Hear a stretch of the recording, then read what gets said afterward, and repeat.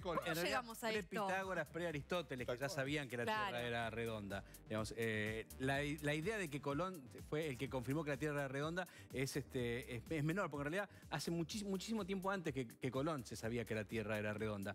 Si querés alguna prueba más clara, están las fotos y el hecho de que hay satélites artificiales dando vueltas pues, alrededor de la Tierra Que te dan imágenes ha constantes. puesto el hombre. Entonces, como son satélites que dan vuelta alrededor de una cosa redonda, eso significa que la Tierra es redonda. ¿Y ¿Cómo Sin llegamos a esto? Bueno, a esto llegamos, eh, no es nuevo. Hay movimientos en todo el mundo, hace muchos años, que dicen que no, que la Tierra es plana y que hay toda una gran mentira montada por los poderes internacionales para que creamos, que, no te rías, ¿Pero para, que creamos que la Tierra es redonda, pero en realidad no lo es.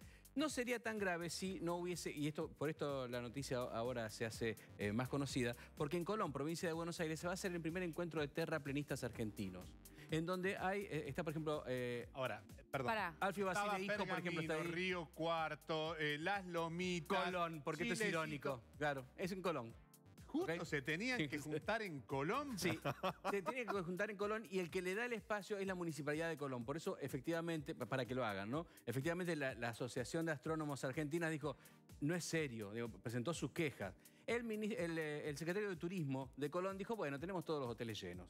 Digo, Esta fue la, Claro, esta fue la claro, Espera, respuesta. ¿este es el mapa? Eh, ese es un posible mapa. Efectivamente, el mapa, según ellos cuentan, si lo podemos ver, tiene en el centro al polo norte. Y eso blanco que lo rodea, según los que dicen que la Tierra es plana, es la Antártida. Es el, el polo sur, o sea, es un, un gran bloque de hielo, un gran muro de hielo como, como en Game of Thrones, ¿no? que rodea efectivamente a, a la Tierra, según la idea de los terraplanistas. ¿no?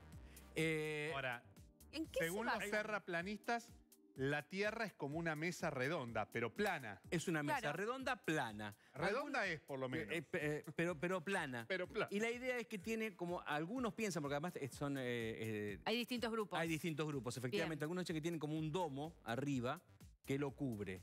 Y el sol Ah. eh, sería mucho más chico que la Tierra en esta, ide- en esta idea. Para que esto sea cierto, digamos, para que la Tierra plana sea cierta, en principio debería haber una gran conspiración internacional desde hace muchísimos años que no se sabría cuál es el sentido que tiene. ¿Por qué quieren hacernos creer que la Tierra no- eh, es redonda cuando no lo es?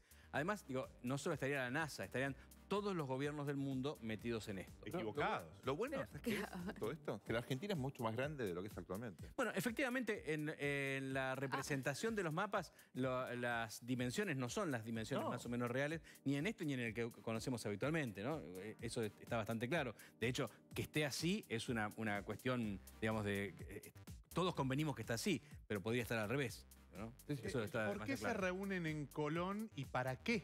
Es decir, ¿qué es lo que. ¿Cuál es el objetivo? Bueno, ya tienen en claro son, que la son Tierra. talleres, son charlas, son encuentros que no, no se hacen solamente en Argentina, se hicieron ya en otras partes, en otras partes del mundo. Digamos, porque ellos quieren eh, demostrar que su teoría es real. Es real. La verdad que, y es un movimiento que tiene mucha gente.